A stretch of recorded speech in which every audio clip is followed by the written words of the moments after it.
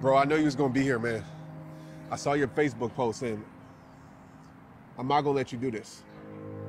I know what you've been battling, and I know life sucks. I know it doesn't seem fair, but I want to tell you this, man.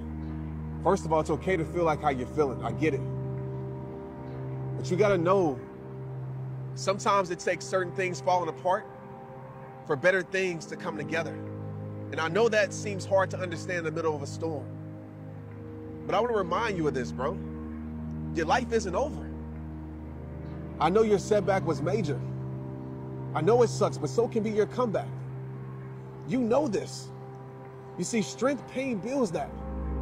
And right now in this moment, I know you're thinking, yeah, right. It's hard for you to feel that. But even in your darkest times, there's a plan for you to still shine bright. I need you to believe that. And I know it's hard when the pain chooses you. I know it's hard when you've been praying for a breakthrough but nothing seems to come through. I know it's hard when you're working so hard for your dreams. And those dreams seem like they aren't coming true. I know it's hard when the ones you did the most for, they stop showing up for you. I know it's hard when you've been battling a silent battle and it seems like you have no one to run to. I've been there, but your life is not finished. You got to keep living. You're just a choice away from something better. Give tomorrow a chance. Your perspective can either be your power or your presence. So no matter what, build your testimony with the test you were given. Listen, I know depression is real, suicide is real, giving up is real. I've been there. But so is deliverance. You can heal from those afflictions, overcome that addiction. It's time to stop trying to put a period where you need to put a semicolon at the end of your life sentence. There's more to your life than this chapter. There's more to your life than this storm. There's more to your life than this season. There's more to your life than the pain. But you will never see the reason why everything you've been through was building you if you quit.